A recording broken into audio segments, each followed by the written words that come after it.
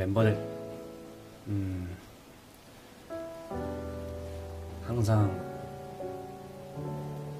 고맙다는 말이 제일 큰 것 같은데 언제나 항상 이해해주고 챙겨주려고 해서 너무 고마워. 미안하고. 진짜 다 같이 한 뜻 한 마음으로 한 목표를 향해서 이렇게 나아가고 있는 게 진짜 너무 행복해. 너무 행복해. 앞으로도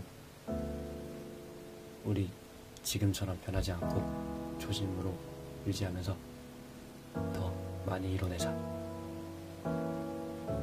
마지막으로 우리 가족들 어, 일단 사실 좀 더 많은 걸 이루고 나서 더 길게 이야기를 나눌 거니까 짧게 편지를 남기는 정도로 할게요. 엄마, 아빠, 누나 진짜 내가 처음으로 랩한다고 했을 때, 춤춘다고 했을 때, 그리고 그걸 미래로 결정한다고 했을 때 얼마나 많이 걱정도 되고 불안해하기도 했을까 라는 생각이 드는데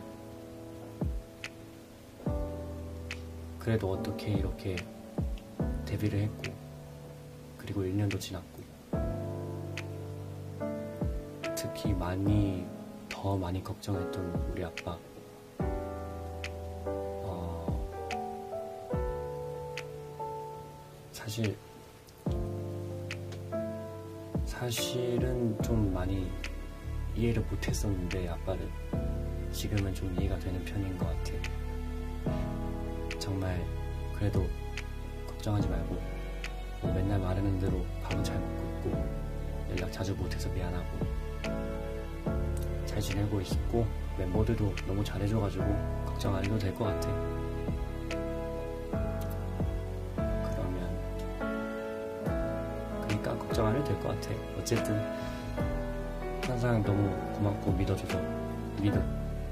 믿어주고 보내줘서 고맙고.